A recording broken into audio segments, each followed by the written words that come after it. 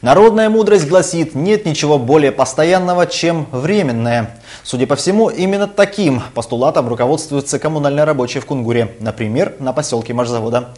Почему? Смотрите далее в нашей рубрике «Мелочи жизни».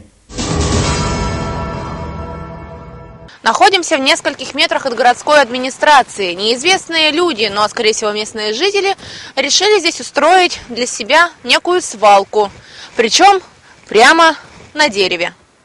Видно, что мусор здесь прибывает с каждым днем. И это, конечно же, не дело, ведь здесь проходит туристический маршрут, и почти ежедневно люди приезжают к нам, чтобы посмотреть на главную панораму и просто пройти по старым улочкам. И здесь такой вид.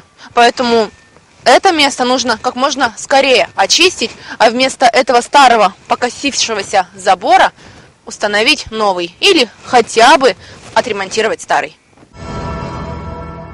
Находимся на поселке Машзавода, и тепловики почему-то решили как-то пошутить над жильцами и проложили тепловую трубу прямо по проезжей части. Видимо, они не захотели проложить ее под землю, в короб, и решили оставить ее так, оголенную, которая толком не закреплена от любого движения ходуном. Тем самым в любой момент она может деформироваться, попросту лопнуть. И мелочь это, судя по всему, безответственная, потому что в таком виде трубы оставлять нельзя, тем более на проезжей части. Ведь по ней ежедневно проезжают десятки автомобилей. И еще одну ужасающую, даже антисанитарийную мелочь мы увидели здесь же, на поселке Машзавода. Как вы видите, я стою возле остановки, но почему-то здесь кругом человеческие отходы. Здесь же находится местный туалет для жителей этого района.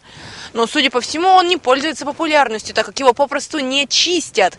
И все нечистоты люди выливают прямо на улицу.